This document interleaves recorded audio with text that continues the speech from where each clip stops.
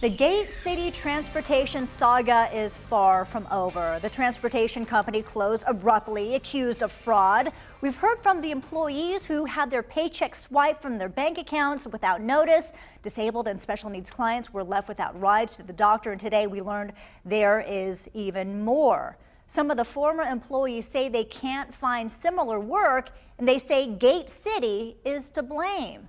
So 2 Wants to Know's Emily Spain took a closer look at the paperwork in question here. Emily. When Robin Klein got this paperwork in the mail, she was shocked and frustrated. Not only was she out of work, but now the license required to do her job is also gone.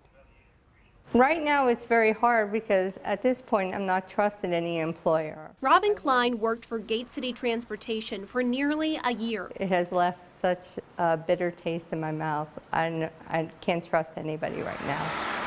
She drove dead bodies for organ donation, a job that requires a state permit. She says Gate City Transportation filed the paperwork and paid the fees to renew permits every year.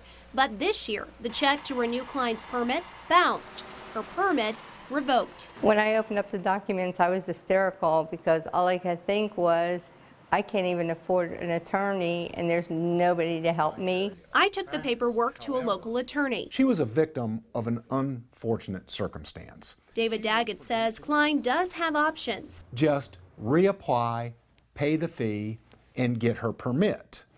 The bad side on that, that prior revocation will always come up on her record. Daggett says that's much cheaper than challenging the state board or appealing it through the court system. Many times more expensive than it would be just to reapply and get a brand new license. Still, for Klein, it's a headache. It's really a shame that he's putting us in this situation.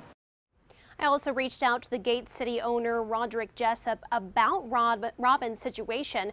The woman who answered the phone told me Jessup does not have a statement at this time. And Julie, or Frank rather, investigators say Gate City received nearly $20 million in fraudulent Medicaid claims. Yeah, and to keep this from happening to you, David Daggett suggests paying for your own permits and having your employer reimburse you. That way you're in charge of your own paperwork.